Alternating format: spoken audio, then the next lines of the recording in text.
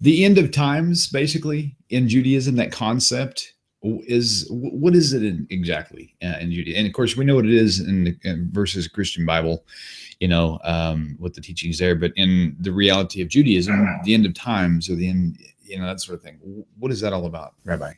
It's the the error when, um, most critically, that the knowledge of God will fill the world.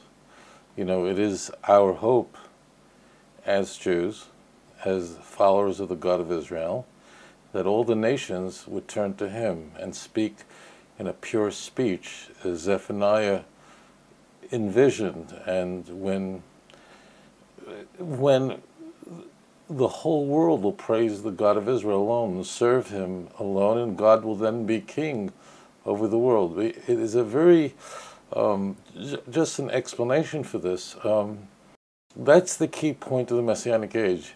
There, there, there might be, I don't, I've never counted it, so I'm, I'm making up this number. But there may be, let's say, 500 passages that are messianic in the Jewish scriptures. And I don't, I, I've never even counted it. I have no idea.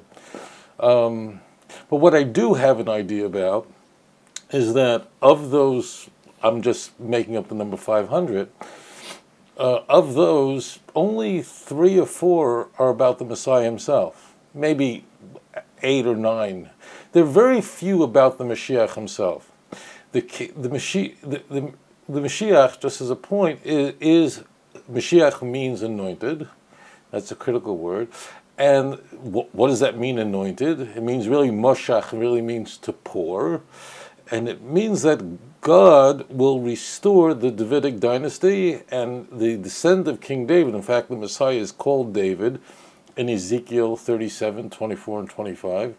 Um, and he's called that a little bit early in Ezekiel as well.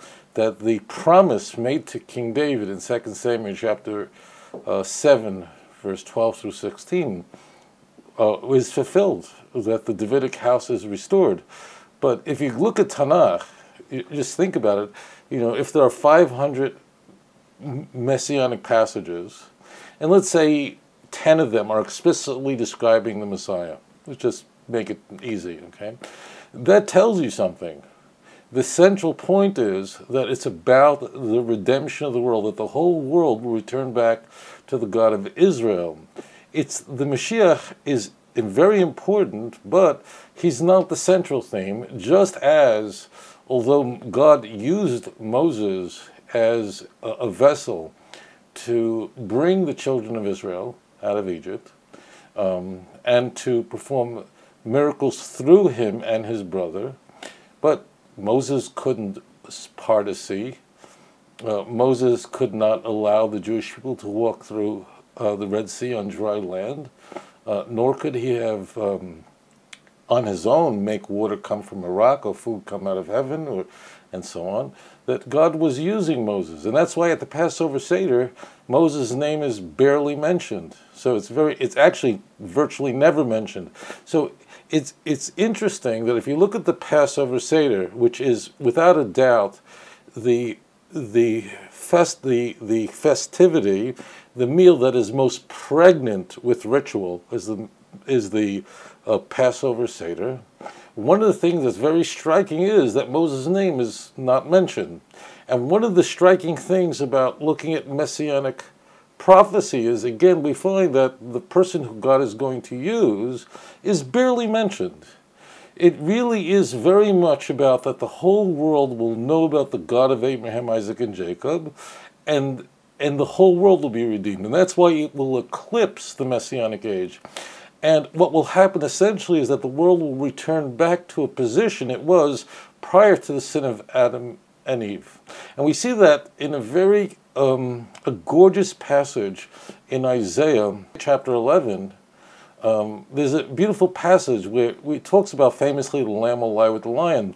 But it says that, that a very interesting passage that a little child you will play over the hole of a, a poisonous snake. That's a very interesting thing that a baby is going to be able to be without fear near a snake. Why that? Why not? You know, people won't have to worry about earthquakes, that a, a, a child could stick his head in a crocodile. No, it's specifically in a child will play near a, cobra, a, a poisonous snake because what it means is at that time no longer will the snake be able to harm a person so that's a throwback to Genesis 3:15 that no longer will the snake be able to injure or bring harm to mankind because essentially the world, the whole world will know about the God of Israel, and therefore people will not rebel against the God of Israel any longer. They will make errors, mistakes, because we're not going to become um, robots. We're still creatures of habit, but there'll be unintentional sins, not intentional sins. And that's, that's very critical. And it is for us to hope every day that the Messiah would come today. If if the whole point of the Tanakh is that there's there's very few verses in the Hebrew scriptures in the Old Testament that talks about who the Messiah is. How is it that the New Testament reversed it and made it so much about who it was and very little about the time? The answer is very obvious. The new, even although Christianity is using the the vernacular, the conventional vernacular of the Jewish scriptures. It's using words like the Messiah. Uh, it's using in Greek uh, Christos, uh, Christ, that's a Greek word. It had no meaning to the Greeks prior to the advent of Christianity. That term just meant nothing. I know some people might think that uh, Christ was Jesus' last name and he was the son of uh, Mary and Joseph Christ, but that's not the case. So, although they are using the language of the Jewish scriptures. They're actually they are completely misappropriating it. Christianity is not about Mashiach of the Jewish scriptures. Christianity is about the worship of Jesus. And if you're not sure, you can go into any church. I'm not saying to go, but if you did and you were there with a counter and you count how many times Jesus' name comes up, you, you know, you'd be in the hundreds on a in in a in a, a tent revival. It's not that I go every afternoon, but it's that constantly. It is. If you ask a Christian, what does it mean to be a Christian? So if you ask, they'll say very simply, "I love Jesus, and Jesus died for my sins." That's what it is, and He rose on the third day for my sins. It is all about Jesus. If you ask a Jew, "What is he waiting for for the Mashiach?" We're not talking about worshiping a person. If you ask a Jew, if you look at the Jewish scriptures, and you've never heard of Christianity in your life, if you would, ne- let's say you're a Yemenite Jew, Yemenite Jews never encountered Christians. Christians were never in Yemen. The Muslims never allowed Christians to be in Yemen. So they really, Yemenite Jews, never encountered Christianity. If you would ask a Yemenite Jew, they, when you ask them what does it mean to be a Jew, uh, they would tell you it's about the whole world knowing about the God of Israel. And yes, God will keep his promise to King David and restore the Davidic dynasty, and he will be a prince. It's described 17 times at the end of Ezekiel. He's called the prince. It, most of it is passingly. That's why I don't count those really messianic passages, meaning about the Messiah. It tells us that he'll bring offerings, sacrifices in Ezekiel 45 and 46. But he is passing, and uh, he, relatively speaking, because it, Christianity is really, when Christians say to you that I love Jesus, and what it means to be a Christian is Jesus died for my sins. They're not kidding. They are not. They they. Are, this is not a messianic type of movement. It is a wor- worship of a man completely. I mean, and in case anyone thinks I'm like making this up, you could ask a hundred Christians who are you know devout Christians. What does it mean to be a Christian? They will tell you they will they will say they, they of course they believe in the Father God created the universe. All Christians will tell you that, but they will tell you right away it means that I believe that Jesus died for my sins and rose on the third day, and I love Jesus. Period. It means I love Jesus. That's it. It is about worshiping Jesus. They're using the language, they're misappropriating language, which makes it very confusing. So we're using the same word, whether it's uh, Mashiach in Hebrew, uh, Christ in Greek, Messiah. We're using the same word, but we mean something completely different by this. And obviously, if you read Tanakh, you have to ask yourself the question what does the, the timeless passage of our scriptures of prophecy comport with? Does it comport with worshiping a man and a man dying for the sins of the world and rising on the third day? In fact, Paul in 1 Corinthians 15, he says that Jesus rose on the third day. It's really the only verse that tells us that Jesus rose on the third day is uh, 1 Corinthians 15. The, the, the Gospels don't say when Jesus rose, they just say when they found the tomb empty. But the key is, he says, according to the Scripture. And you ask yourself, what Scripture? There is no such Scripture. There is no Scripture that says that the Messiah is going to die and rise on the third day. So Paul actually makes a reference to something that's a non existent passage or a passage taken completely out of, ridiculously out of context. There is no passage. So Paul is saying this is absolutely because this is like Paul's possibly the most the most well-known chapter of all of the writings of Paul is 1 Corinthians 15. That's about the crucifixion resurrection. And he's saying that's everything. And he's saying if Jesus didn't rise, then we are all, our faith is completely in vain. I mean, that's everything. Paul is telling the truth, meaning he is, he, he, like his followers today, are accurately conveying what Christians believe. I'm not setting up a straw man and toppling it. It is not, it's not about Jesus being a prophet or a teacher or that's not what it's about. Christians do believe that Jesus was a teacher and a preacher and a person who told parables and all those things, but that is not the central centerpiece of Christianity. The centerpiece is he is a God man and he is to be worshipped, and he defeated the grave and rose for your sins. So he's a, he is the he is the uh, motherlode of human sacrifice and idolatry, of worshiping a man who died for your sins and then rose on the third day. And every every child of God who's curious about the truth needs to ask the question. It's odd because we don't have 1 Corinthians 15 anywhere in the Jewish scriptures, which is 23,000 verses. And that number, I can tell you, is a little more than 23,000 verses. And you have to ask the question why don't we have a chapter that looks like 1 Corinthians 15 anywhere in the anywhere when I say anywhere I mean anywhere in the Jewish scriptures and every Christian watching this show I I encourage you to go to the Jewish Bible and measure these fantastic claims of Christianity against it. And the Jewish scriptures is saying that human sacrifice is forbidden. That means vicarious atonement, that one person can die in order to, who is righteous, could die in order as a sacrifice to die for the sins of the wicked.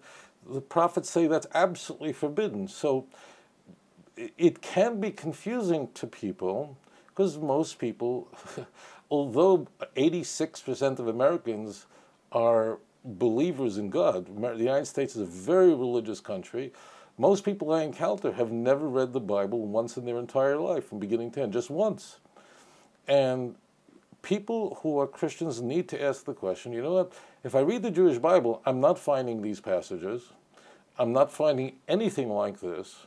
There is, of course, discussion of the Messiah, but when we talk about the Messiah, he is very much a person who is what? Who is, um, who fears God. Isaiah chapter 11. He could come in any generation, which means there are. Why is the Messiah called a branch? I just want to talk about this for a moment, because people ask me this question often. We see that the Messiah is called a branch a number of places in the Jewish. Why is he called a branch? Now, I want to just heighten this question so you, you get this point. Jesse, his father, is called the root, right?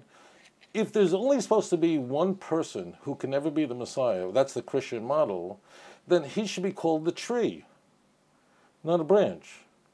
But in fact, the Messiah is a human being, and in each generation there is somebody else who's ready to step forward if the Jewish people repent and fulfill the mandate of Isaiah 59, verse 20 where it says that the, the Redeemer will come to Zion to those who, re, who repent in Jacob. The Mashiach can only be launched to a generation that does tshuva. Now, in every, uh, the Messiah is a human being, and he, a baby cannot uh, be a king, it has to be a mature adult. And therefore, in every generation, if the generation does, is, does not merit that the Messiah would come in that generation, then that person dies. And there's somebody else from the house of David, and there are thousands of people who I know, I know many of them who are direct descendants of the house of David. There's another person waiting that if the, that generation deserves that he might come, then he is ready to step forward. In every generation is somebody, it's a different person. And that's why it's called a branch, because you have a tree, that's one tree, you have one tree stump, but you have hundreds of branches. Maybe some trees have thousands of branches, I don't know. But the key, what is being conveyed is that it's any one of those branches that could be the person who will step in to fulfill the, the mandate, the promise that God made to King David, and usher in a messianic age. But how could he do it? Just the same way Moses did it. He can't do it. It is God who said to Moses, I will be with you. And Moses asked, How is it possible I can do this? God said, eh, I will be with you. Period. And that's what so it, Christianity is about is all about worshiping human being. It's within some general framework of Judaism, meaning they believe in the Jewish Bible, the the, this, the record of the creation of the world, the record of, of Noah, the flood, the record of Abraham, they're all curious about. They all believe that. But that's it. It is a completely it's it's not just a different orientation, which I think is what Christians believe, or what most what is conventionally accepted is it's just a different orientation. It isn't. Christianity is about worshiping a man who is created in our who we create in our image. I mean, who is Jesus? He's someone who's who we will never be. That's what Christianity presents him as. He's someone who's sinless. He's someone who can't do anything wrong. He's someone who's born of a virgin. He's perfect. And most importantly, he defeats the grave, which is very important to people because this is a person's biggest fear, is the fear of death. We are the only creatures on earth that know that we're going to die. No other animal knows it's going to die. They're not even aware of that. Only we are. And therefore, if we go back in time, thousands of years, religions were all about how to defeat death. And if you take death out of the picture, the equation, every religion in the world practically would just disappear. Judaism would be completely irrelevant to us. For us, it's about raising God, that God's name should be raised above every name. It's not about us being served or benefiting from it. And uh, just a point that must be said. In a strange way, this will seem surprising to the listeners. There is a benefit for us that the Messiah doesn't come so fast. Why? Because we're in the night now. We are in, it's still night. The morning is soon coming. The light is soon coming, but it is still dark. That means we're living in a time when people can choose to reject the God of Israel or embrace him, to bow before him or to turn their back, to blaspheme him or to raise their tongue in praise of him. When Mashiach comes, it will be everyone will know the truth. So in a way, now, if a person accepts the God of Israel in his or her life and bows before him, they that person is receives tremendous reward for such a thing. Why? Because to be a Jew means to be hated by the world. It means to be despised by the world, to be rejected by all the nations on earth that curse us in Sweden every day. So, therefore, in a sense, if I can, it's like every day that a person embraces the God of Israel, now your bank account is getting an automatic deposit, so to speak. It's very beneficial. The Messiah coming is really about we don't want this for us, it's for God. Because when the Messiah comes, then everyone will know. It won't be a big deal to worship the God of Israel. Everyone will know. It will be in Yiddish unplugged. It'll be uncovered. So it's a very intriguing thing. Christianity is very much about covering two critical points, but one most important that is overcoming death. That what Christianity provides is very, what it claims to provide is very important to people. And that is you're going to go to heaven, you're not going to go to hell. That means it eliminates that fear. It's serving you. It also, you have someone to talk to, your invisible friend all the time. I don't mean it derisively, but this is very important to people. Now, so the key is Christianity delivers what people crave. In Judaism, it's really the opposite. In a way, in a sense, and I'm saying this to heighten a point, in a way, a person might say, I really would prefer that the Messiah takes his time. Why? Because every day my bank account is getting bigger and bigger. Now, mitzvahs, commandments really count. When the Messiah comes, then there's going to be uh, no temptation to sin. So therefore, when a Jew waits for Mashiach, it's the antithesis of Christianity. We don't want to, we're getting, we're, we are being served now better. If it's for me personally, it's better that the Mashiach doesn't come. Why? Because personally, if it, if it is about serving me and taking care of my needs, my needs are much better served. I get much more reward for worshiping God of Israel now than when the Messiah comes.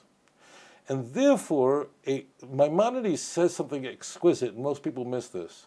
In the 13 principles of the fundamental principles of our faith, the 12th is the belief in the coming of the Messiah. But, my, but what is added in there is that even afal pisha even though he tarries, achakelo, this is essential to our belief. We must hope that he comes today. Therefore, what does that mean really? What, what do you mean, uh, even though he tarries, why do you have to add that in?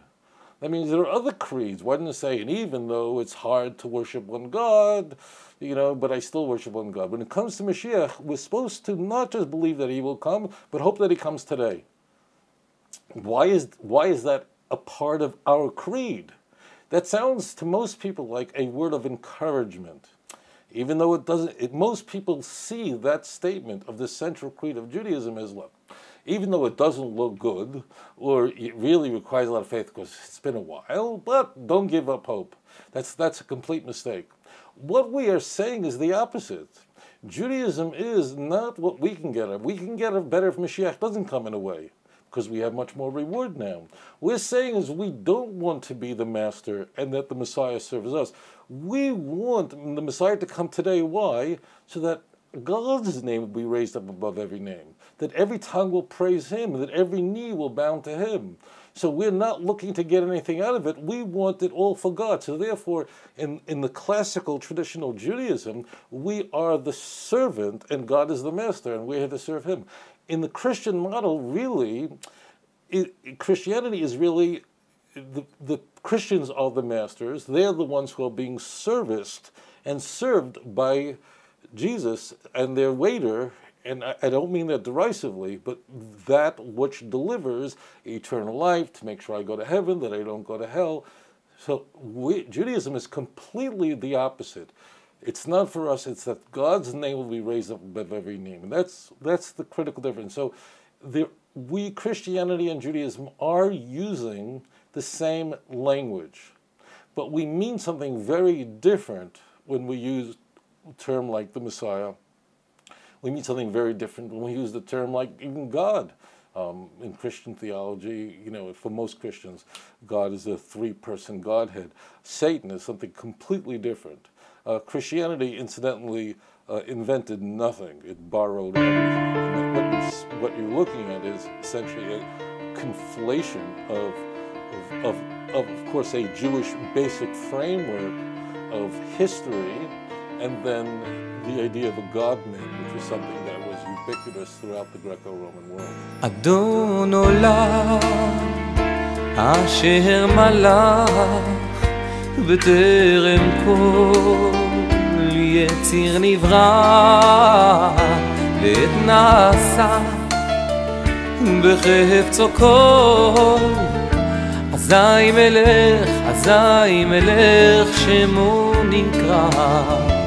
ואחרי ככלות הכל לבדו. ימלוך נורא והוא היה והוא עובר והוא עובר והוא יהיה בתפארה אדון עולם אשר מלך בטרם כל יציא נברא לעת נשא בחפץ הכל אזי מלך שמו נקרא ואחרי ככלות הכל לבדו ימלוך נורא והוא היה והוא עובר והוא יהיה בתפארה אדון עולם אשר מלך בטרם כל יציא נברא לעת נשא בחפץ הכל אזי מלך שמו נקרא ואחרי ככלות הכל לבדו ימלוך נורא והוא היה והוא עובר בתפארה והוא עובר והוא יהיה בתפארה אדון עולם אשר מלך בטרם כל. יציר נברא לעת עשה וחפצו כל אזי מלך, אזי מלך שמו נקרא